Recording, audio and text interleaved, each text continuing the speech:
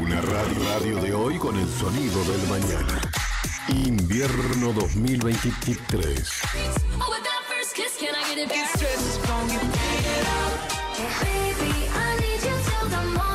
En Navarro, NBR, la radio. El futuro ahora. Estamos yendo al rescate de la música. Y lo logramos. Clásicos de hoy y nuevos éxitos. Invierno 2023.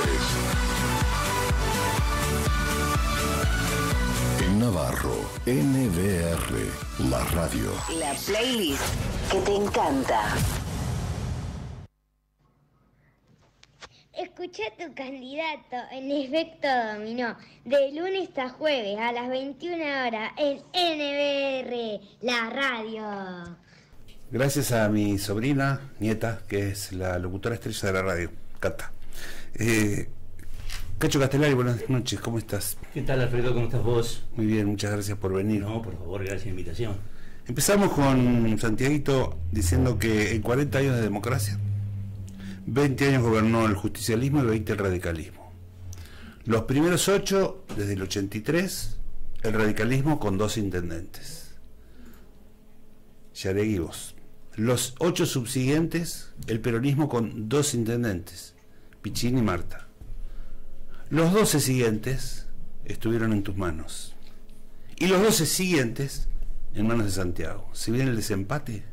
Mira, vos sabés que hay un escepticismo con la dirigencia política, pero fueron etapas. El radicalismo Navarro tiene una fortaleza muy especial. Eh, mm, el hecho que desde el 83 al 91 el radicalismo y del 89 al 2011 eh, 99. 99 al 2011 nuevamente el radicalismo. Eh, nosotros yo obviamente soy un defensor pese a todas las dificultades que puedo decir del sistema democrático. Me, me interesa y me gusta que la gente pueda elegir a sus gobernantes mm, y una profunda satisfacción en lo personal haber sido elegido por la comunidad cuatro veces intendente municipal, es una, siento una profunda satisfacción, pero soy consciente que todo esto es porque tenía un partido fuerte y consolidado detrás y que obviamente uno algo, una pequeña parte habría aportado. Yo siempre decía que los triunfos son del partido y las derrotas son de los candidatos. En este sistema democrático eh, me ha llevado realmente casi el 50% de mi vida dedicada a la política. Con sus aciertos, con sus eh, eh, errores, pero quien no entiende que la política y para llevar adelante es producto del diálogo y de sumar.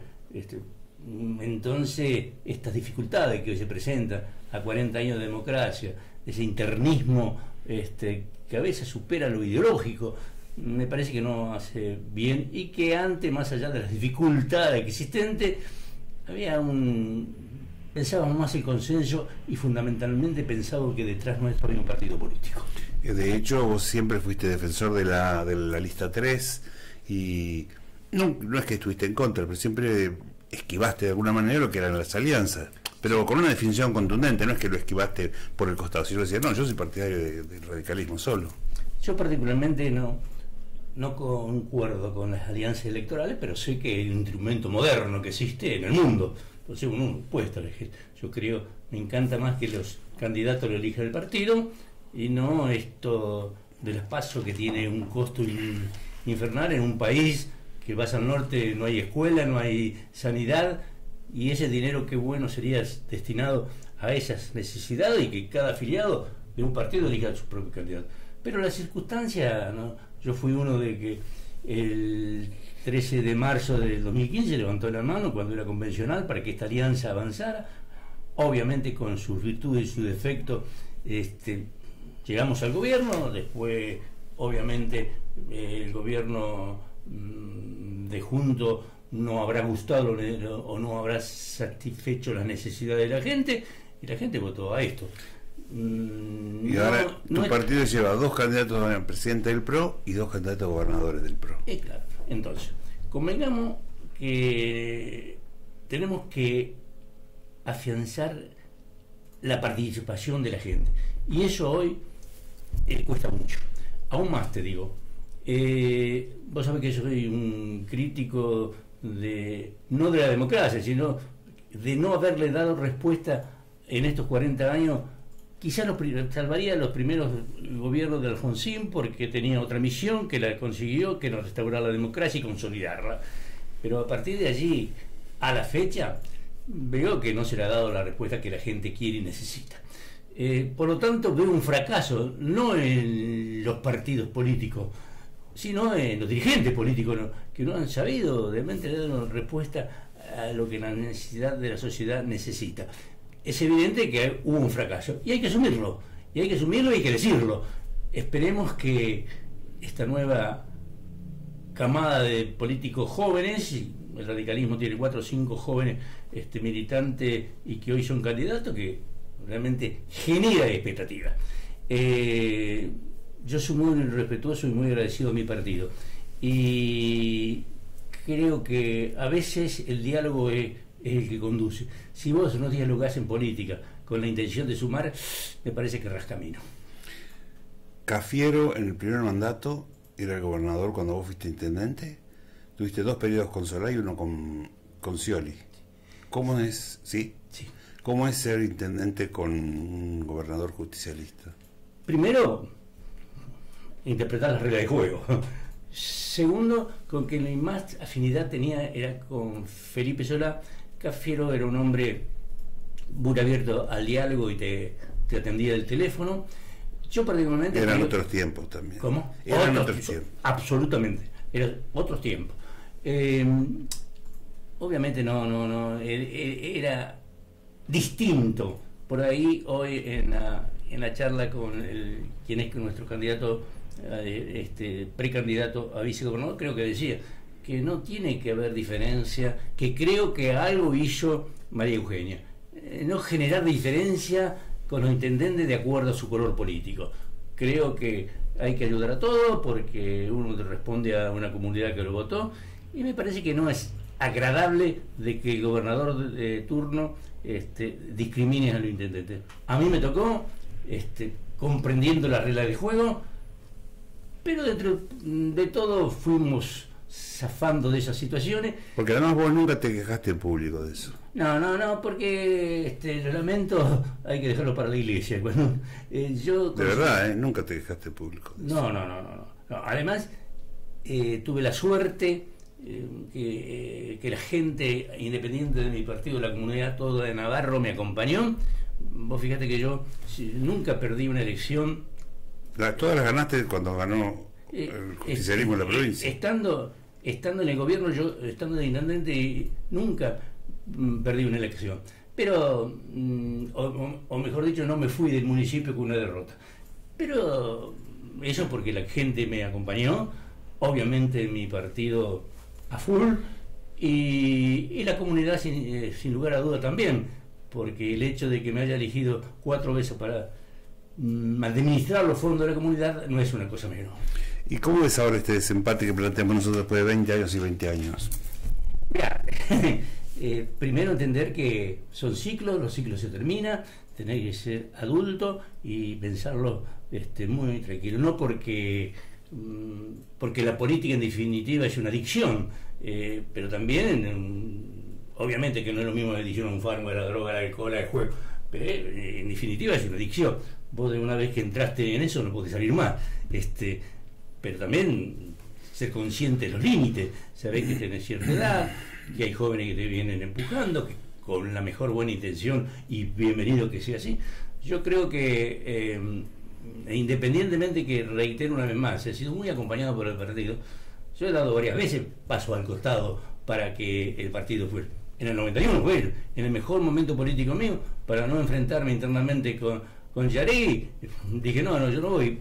Y así mismo, cuando fueron los otros candidatos, eh, tanto Leo como Daniel, automáticamente yo digo, son ustedes muchachos, cuenten con mi apoyo lo que puedo, aquí estoy en la municipalidad. Consciente de que eh, la estructura municipal en un acto electoral influye mucho. La estructura municipal en un acto electoral influye mucho. Sí, sí, sí, por supuesto.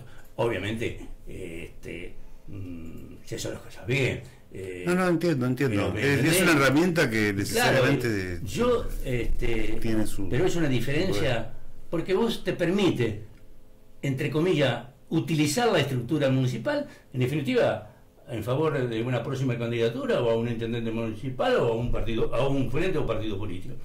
Pero este, en eso lo tenés que tener recontra claro. Influye mucho, pero mucho. Eh, ¿Qué tal es ser intendente de Navarro? Qué pregunta, ¿no? Mira, en primer lugar, para cualquier ciudadano que lo elijan para administrar un municipio, y en el caso personal cuatro veces, es una gran satisfacción. Obviamente, yo, mis hijos, yo les digo, tan mal tipo no habré sido, me eligieron cuatro veces para, para administrar los recursos de la comunidad. Mis hijos me dicen que no es necesario que yo sea intendente para ello al barrio. Claro, ellos no, porque me conocen.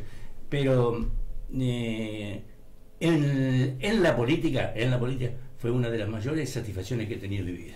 ¿Y cómo fue el después? Es decir, el 91 que dejaste y después en el 2011 que también dejaste. Eh, que- Ninguna de las dos perdiste vos. No, pero no obstante todo eso, eh, mm, te reitero, Alfredo, fue el hecho de dejar el, el poder, que yo no soy una persona que he ejercido el poder como se debe ejercer. Yo creo que De modo animal, como dice. Claro, yo no- venía otra, no te digo que buena, No, no, no, pero es una manera mal, diferente. Pero se termina el día, tenés que ser. Vos fijaste, Alfredo, que yo el 10 de diciembre del, 2000, eh, del 91 eh, le juré en la puerta de mi del despacho del Palacio Municipal a mi familia que nunca más. Ya había cumplido. Y sin embargo, al año y medio fui candidato a concejal encabezando la lista de, de concejales. Eh, La política es atrapante. eh, tenés que saber eh, los límites, mm, satisfecho de que, por ejemplo, en esta elección mm, nadie pudo dar que a mí me han invitado a ocupar cargo. Obviamente, creo que hay que darle lugar a los jóvenes y, y de nuestro distrito que quieren, de hecho lo estamos observando a diario, eh, hay que darle la oportunidad. Y hay que saber cuándo llegó tu límite. Y el 11 de diciembre, cuando dejaste el municipio dos veces, ¿pensaste, estoy preparado o no estoy preparado para esto? Mm, para, Para dejar el municipio y Sí, de un sí. día para el otro.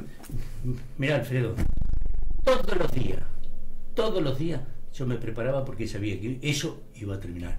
Eso me ayudó mucho a no tener, entre comillas, sufrir dejar el poder. Primero que no era un hombre que ejercía con fuerza el poder, pero de la noche a la mañana, todos los días yo me preparé. Ah, Estoy sentado aquí, pero sé que en cualquier momento mm, eso, esto se termina. Y me sinceramente me preparé para, para llegar ese día y no sufriera ese golpe que, que fuerte. ¿eh? Algún día dije, me, se contaste o me contaste a mí, no sé. Llego con una lista de 10 actividades a realizar. Llego, me quiero poner a trabajar en eso y se empiezan a surgir cosas y cuando me voy tengo 20. Mira, eh, yo siempre eh, eh, decía que yo iba a la municipalidad todos los días con un listadito. Sí, justo. ¿eh? Sí. Entonces, de 10. Pero de 10 solucionaba 2, me quedaban 8. Al otro día solucionaba otras 2. Solucioné 4 y me quedaban 16 pendientes. Eh, realmente uno quiere darle solución a todo, pero es imposible. Uno hace lo que consideran que está mejor y consciente de que hay límites. Y, ¿Y cómo se hace? Ay, bueno, bueno, quedaron 25 temas y y lo dejás anotadito y por ahí, bueno, pero no es una cosa fácil, tenés que asumir esa responsabilidad que está gobernando y lo tenés que hacer con austeridad, con, mm, con transparencia, que la gente realmente mm, vea en el intendente que es un hombre que está poniendo mucho esfuerzo, porque más allá de que las satisfacciones, eso te cuesta mucho, te alejas de tu familia por razones obvias, eh, ya felizmente justo mis hijos estaban en etapa adolescente, felizmente mi mujer se pudo hacer cargo y gracias a Dios lo hizo mejor que su esta, pero tiene su costo. Entonces, eh, a mí particularmente eh, me satisfizo ser intendente de- durante tanto tiempo, pero soy consciente que todos los días me preparaba porque esto se termina. Y esto se va haciendo cada vez más complejo, ¿no? No es lo mismo el, No. la- el municipio del 87 cuando subiste, ni siquiera del 99 ni del 2011. Alfredo, eh, para nada. Los cambios vertiginosos que ha tenido la política eh, a veces son, este, realmente escapa al razonamiento, pero De hecho, en el 87, si no me equivoco, tenía un secretario de gobierno, un secretario de obras públicas, un secretario de, Sí. de acción social o, algo así, Sí. que, que incluía deporte, acción social, Sí, ¿no? eran- no era un contador un- y un tesorero. No sé si salía de ahí. No, no, y te digo, este, en, en lo- en ese cambio abrupto que es este producto de la política, uno tiene que ser eh, cauto y, y medir los tiempos y también influyen mucho los recursos que con- contás. Eh, sabemos que tenemos la coparticipación, sabemos que tenemos eh, las tasas municipales que es un, aporte genuino, pero también sos- sabés que tenés que, tiene que llegar a fin de mes, tenés que tener cierto monto para pagar eh, lo- lo- los sueldos. Hoy, te imaginás, yo no me acuerdo, pero hoy eh, hay un presupuesto de, de Tres 10 mil millones, millones va a salir ejecutado, va a salir a 5 millones. Sí, mil millones.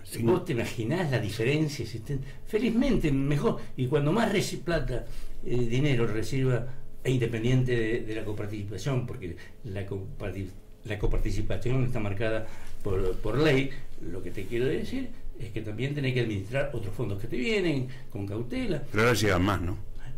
Ahora llega más Sí, sí. mm, Eh, con participación, no, te sé qué concepto. Que cuando yo estaba el 50% eh, del presupuesto se satisface con se satisfacía con los recursos eh, genuinos municipales. El otro 50% significaba, no sé, significaba lo, lo lo que demandaba la provincia. Con eso hace- formaba el 100%. Pero hoy reciben como un 10 o un 15% más, que en 3 mil millones de pesos es mucha plata. Y, y vos fuiste intendente en dos momentos clave de la Argentina, en la hiperinflación y en la explosión del 2001. Sí, eh, la supe, eh, felizmente la supimos sobrellevar, no fue una tarea fácil. ¿Viste que ahora se habla de diálogo? Sí. Vos creo que lo sobrellevaste desde ese lugar. Mira, vos te referís a- precisamente a, a los recursos que yo manejaba. A que te tocó ser intendente en los dos momentos más graves de la Sí, Argentina, la sí. hiperinflación en el 2001. Sí, yo creo que Y vos cuando no podías pagar los sueldos llamaste al empleado municipal y al salón municipal y le dijiste, muchachos, no los puedo pagar. Y te aplaudieron. Sí, pero, eh, sí, pero esos son, eh, precisamente, creo que eso es, es política, por eso el cambio. Hoy, que un intendente llame que no puede pagar los sueldos y presente... Y eso pasó, ¿eh? Pero digo, ya sé que vos sabes, pero yo también sé, yo lo viví Sí. y hay gente que también no lo puede creer, pero eso pasó en Navarro. Sí, sí pasó. Pero, mm, mira, eso fue un viernes, no podía pagar los sueldos, no le podía pagar los proveedores, estaban los patacones, tenía un mambo de aquello. Me voy, le, le digo a Pampo, me voy, un par de dos, tres días a descansar y a pensar qué tengo que hacer porque se, se queman los papeles. El domingo lo llamo a Pampo, Pampo, por favor, lunes, 20 horas, este, convocamos el sombrero municipal, a los proveedores que yo les voy a hablar. Esto, y me senté, les hablé con el corazón, este, y vos, y vos bien le decías, ¿no? ¿Quién iba a decir que no le iba a pagar los sueldos y me aplaudía? Y ¿Te bueno, eso se superó, eso llegó su momento, se fue reacomodando todo, pero fue difícil, fue difícil. Mm, fue difícil porque mm, el proveedor quiere cobrar, los sueldos municipales tienen que estar el 31 eh, depositado, así no era, no era una tarea fácil, pero zafamos, felizmente zafamos, y, y con mucho apoyo de la comunidad. Yo particularmente creo que hoy un 10% de la coparticipación sobre 5 mil millones de pesos son unos cuantos pesitos, ¿no? Vos sabés la diferencia que existe eh, cuando, cuando vos tenés recursos eh, que sabés que te van a llegar. eh, y María Eugenia Vidal tuvo la, la suerte de no discriminar intendente. En la época mía me atendía, me invitaban con café, pero no era del palo. Entonces tenía su, sus- su problemática. O sea, no te decían que no, pero... No, no, no, para nada. Este, Felipe te decía, hola cachito, Sí, ¿cómo no, te no, va? perfecto, una relación humana perfecta. Pero a la hora de, de- de los videos no estaba. Pero yo siempre dije, no fue en a veces me, quiero evaluar, cosa que no es una tarea fácil. Eh, de otro día un colega tuyo me preguntaba, sí, pero, eh, y me lo han dicho varios, vos no hiciste tantas obras en Navarro. Yo le contesto, mira, lo habré hecho, algo he hecho, porque la gente me votó cuatro veces. No creo que haya sido tan malo. Tal vez no habré hecho la obra pública que todo, pública toda la gente quería, tal vez no, pero me incliné más a lo social. Me preocupaba la, la situación de los vecinos. Eh, Talenza siempre, siempre decía, prefiero cuando un vecino eh, me llame porque tiene un problema e, e ir yo antes de pavimentarle una cuadra. Y ese vecino estaba eternamente agradecido. Y no le pavimentó esa cuadra, pero le solucionó un problema. Entonces, en definitiva, lo que te quiero decir, Alfredo, de que mi orientación eh, administrativa fue lo social. Siempre lo social, la inclinación por lo social fue la clave. Pero, eh, y eso, eso es lo que te permite eh, hoy en día, felizmente salgo de la calle, este, jamás han- me han faltado respeto, sigo viviendo en el mismo lugar, en la misma casa con mi mamá. Y bueno, te digo, sí hice lo que pude, sé consciente de que hay cosas que quedaron. ¿Crees que llegó el momento que el radicalismo, en este caso juntos, recupere el poder? Mm, ¿Vos te referís Al local. al local. Mira, eh, yo creo que mm, la gestión de Santiago y hoy de Facundo ha sido una eh, gestión con mucha obra pública, nadie lo puede dudar. Pero, pero, eh, me parece que ha dejado de lado la parte social con más ¿Les agresividad. estás tirando letra?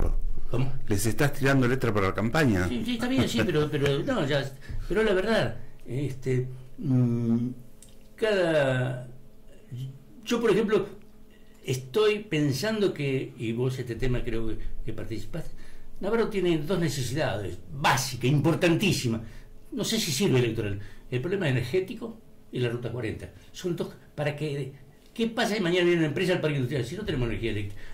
logré que se hiciera parte de la obra, Sí. pero falta abastecer más, porque si mañana viene una amiga em- empresa a instalarse en Navarro, te tiene que decir que no, porque El día de, todas las inauguraciones existe. Tu, tu último día de mandato, entre esas cosas, eh, inauguraste el, el- la, la energía que venía de Mercedes. Exactamente, sí, sí, sí, creo que eran tres obras y entre, bueno, esa era la primera etapa, falta la segunda etapa. Sí. Pero ahora no hay energía para proveer. Claro, lo que entiendo de que tenemos que poner énfasis en eso, en el que llegue la energía eléctrica para solucionar este gravísimo problema que tenemos. Y la ruta 40, que vos participaste, la 40 es en la columna vertebral de la 5 y la 205. Y a nosotros nos daría un cambio total. Soy de lo que creo que Navarro no tiene que perder su idiosincrasia. Pero cuando más movilidad hay, es mucho mejor. Dos temas candentes, ruta 40 y el Te lo he dicho en algún programa en los últimos días, el- fue terminando el mandato de Néstor Kirchner en el 2007, estuvimos en la Casa Rosada, donde él dijo que se iban a iniciar las obras y... ¿Te acuerdas que se lo dijo un amigo que estaba Sí. ahí, un médico, Sí. el 25 de mayo, que tener la obra que tanto reclamás Sí. cuando venís a comer conmigo? Y ahora, no puede ser que un presidente te llame. a- en Luján anteriormente le había pedido al ministro que hiciera en forma inmediata el proyecto, que ya estaba hecho el proyecto. Pero bueno, ahí quedó. Y eh, ahora se habla de la 44, es un tema viejo del radicalismo, este de la 44, o sea, el camino a las Marinas Simón. ¿Cómo lo ves a eso? Mira, eh, yo me inclino, creo que la 44 es tan necesario como la 40, pero eh, eh, lo importante que la ruta interconecte, en caso de Mola, Marina y Almeida. Este, la 44 es una ruta que La 40 es estratégica, la Sí. 44 no. eh, claro. Y eh, tenemos un gran problema que con la 44 no existe, es el puente del Salado. Es, es un puente de altísimo costo y han hecho, digamos, la 40 es necesario hacer el puente, en la 44 no. Y es una obra de arte bastante importante en el presupuesto. Y yo, vos participaste, trabajé por la 40, sin descuidar la 40. Además, en la 44 eh, eh, tiene el proyecto hecho, a- pago por la municipalidad, eh, desde Navarro a Mol, falta el tramo de la, eh, mm, Y se hicieron las la sesiones, 40. hicieron las sesiones en los campos también. Claro, sí, eh, inclusive está alambrado para Sí. Pero mm, yo no sé si coincidís, pero son dos cosas eh, súper necesaria para el futuro.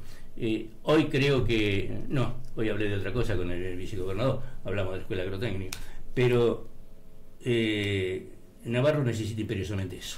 Eh, hablando del agro, ¿qué, qué opinas de la situación actual? Vos, que, vos que conocés la cocina de los últimos 40 años. últimamente, hoy le comenté al vicegobernador y comprometí que, que por favor, y a, quien creo que va a ser el futuro intendente, Mateo Natalini, le Ahí se pasó el chivito. Eh, entonces, la escuela agrotécnica. Navarro tiene un predio frente al parque industrial, creo que son 18 o 20 hectáreas, que se, lo se lo cedimos para que lo explote la, agrotécnica. Además, 80 hectáreas de una herencia vacante que eh, en sol de mayo, que también son recursos. ¿Eso cómo llega a manos del agro? Los 80 hectáreas. Porque se le transfiere. Eh, ¿Pero quién determinó que se Porque la municipalidad él, la municipalidad tenía la, tenencia de la ciudad. Eso, eh, de los 80 hectáreas me parece que fue veto. De estas 18 hectáreas le, da la posesión al municipio, ¿eh? nada más. Entonces nosotros, estas otras hectáreas que están aquí frente al parque industrial, también la explota la Yo había propuesto en un momento dado, e inclusive tuve una charla con algunos empresarios, yo sé que eso es imposible hacerlo, digamos, tiene que haber resorte legal, para que vendiera esas 80 hectáreas y con ese dinero construyera la escuela agrotécnica en el, en el predio. Una buena idea. Y te digo, hasta tuve algunas charlas, porque como bien decía hoy en la, conferencia, eh, eh, la provincia de Buenos Aires había recibido o iba a recibir recursos este, mm, extra este, locales eh, y tenía en vista cuatro escuelas agrotécnicas. Una era San Pedro, me parece que la otra era Meguino y Navarro y otra más. Costó un triunfo para que Felipe de Solá firmara que eso era de plan familia propietaria para que construyeran allí la escuela. Pero, obviamente, en el... Si el gobierno de Solá traspasa del plan familia propietaria a destino a la escuela agrotécnica. A la, escuela, a la Dirección General de Escuela. Mm, para la construcción específica. Pero una, alguna de las cláusulas decía que si en 24, 24 meses no la escuela, la dirección general de escuela, no sea la vivienda pasaba nuevamente. No sé cómo estará eso, por eso le pedí hoy a los legisladores y, y a Fernández y a Mateo que pongan mucho énfasis, porque ni siquiera recursos es necesario, porque si venden esas 80 hectáreas, puede construir la escuela. Ahora, no entiendo cómo durante tanto tiempo 25 años creo que son o más. ¿Qué cosa? 40 años. 40 años. Sí, sí tenés razón, Tapapeto. 45 años tiene la escuela agrotécnica. Y alquilar, y, lo que ha costado eso es enorme. Aún más han hecho mejora dentro de, en un predio que, que, no es de... ¿Y nunca se hizo un intento de comprar eso? de eh, Sí, pero la dirección de escuela, no sé el motivo, siempre estuvo reacia en comprarlo. Mm. Pero si tenés, si tenés ¿Para qué la vas a comprar si tenés un terreno donde se puede construir y que está en un lugar estratégico? Aún más, está pegado a la escuela agrotécnica, pero está sobre la ruta. Eso lo compró, ese predio lo compró Pichín para hacer vivienda, pero era tanto el costo que existía para llevar los servicios hasta ahí que el Ministerio de Obras Públicas de la provincia desistió hacerlo. Bien, redondeando la escuela agrotécnica entonces, ¿crees que lo que hay que hacer es hacer un nuevo edificio? es que tenemos todo para hacerlo. Tenemos el predio para edificarlo. Tenemos recursos y una subasta o un, convenio de. Por supuesto lo tiene que hacer la Dirección General de Escuela. Y con ese dinero te alcanza y te sobra para hacerte la escuela. ¿Y se comprometió el, el precandidato a vicegobernador a colaborar? Sí, sí, sí, por supuesto lo comprometí. Este, mm, toma nota porque esto te lo, Mateo te lo va a reclamar. Porque yo voy a insistir sobre eso. Eh, Mm, me parece que algo que, no lo entiendo, ¿viste? No me cierra. Pero como me decía Fernández hoy, posiblemente ni idea tiene la Dirección General de Escuela que tiene los 80 hectáreas, porque no tiene no hay un listado de patrimonios provinciales. Viste que hoy lo, comentó este, eh, Fernández. Que así la solución está. Falta la decisión política. Eh, yo voy a trabajar eh, si, mm, junto a Mateo por este tema, porque me interesa, porque es injusto que teniendo tantas posibilidades Por ejemplo, y vos creo que lo comentaste, el SEC. El SEC se hizo con dinero de, de- de una herencia vacante de Juan Ramón Moro. Por eso tiene el nombre de su hijo. Y, y- y con esos recursos, mm, un poco puso, pero muy poquito la municipalidad, y obviamente la, la Dirección General de Escuela hizo la transferencia de, de los fondos que tenía afectados. Que así eh, están Y los eso fue saliendo del- de la crisis del 2001. Exacto, y se logró. Y esto es exactamente lo mismo, es utilizar los recursos de una herencia vacante de nuestra localidad, que por supuesto la herencia vacante no está destinada a, a tal o cual obra, pero uno tiene que hacer reclamo. Yo creo que no debe tener ni conocimiento la Dirección General de Escuela Que dispone. tiene ese predio eh, para su explotación, aquello para la explotación, pero hay que hacer el edificio de escuela. ¿Cómo vas? Además, No, perdón. Además, el costo que tiene de alquiler es un alquiler muy importante. ¿Cómo va a ser tu domingo próximo? ¿Cómo voy a hacer? Como de costumbre, ir a votar a las 6 de la tarde, eh, acompañar obviamente a Mateo, mm, porque es el hombre, primero que yo trabajé, trabajamos juntos en el Consejo Deliberante y creo que Mateo hizo un buen trabajo en el Consejo Deliberante, fundamentalmente defendiendo al partido en todas circunstancias. Eh, mm, y diría que hasta es el candidato oficial. Por eso yo estoy acompañando. Mateo dice, yo siempre digo, Mateo, yo no te voy a apoyar, pero sí te voy a acompañar, porque me parece que no necesitas que yo lo apoye a esa lista, ya está. Y, y- pero que voy a acompañar, este, sin lugar a dudas va a ser así. Mucho éxito. Y gracias porque, como le dije a Santiago, vos también te las bancaste todas, periodísticamente hablando. Muchas gracias. Un gusto, gracias. Cacho. ¿eh? Eh, 12 años seguidos y 4 anteriores, 16 años de intendente, eh, 4 veces intendente de Navarro, Alfredo Castellari. Nos encontramos pronto. Buenas noches. En este invierno 2023, la radio vive.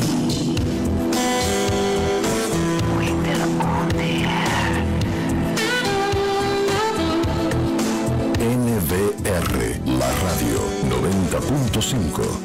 Una dosis de la mejor radio.